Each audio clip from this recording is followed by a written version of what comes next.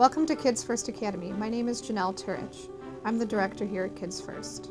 We offer services for children six weeks through pre-K, as well as an after-school program and a summer program for school-age children. What sets Kids First apart from other childcare centers is that we base our curriculum on the individual children that are in the classrooms. We don't expect our children to conform to a specific curriculum.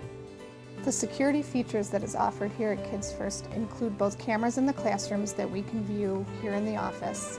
We also have PIN code entries for all the doors uh, that the parents each have their own unique code to get into the building and our section of the building is completely locked off from the rest. We're located in the Lincoln Community Center, which offers parents who commute to the city easy access to 8094.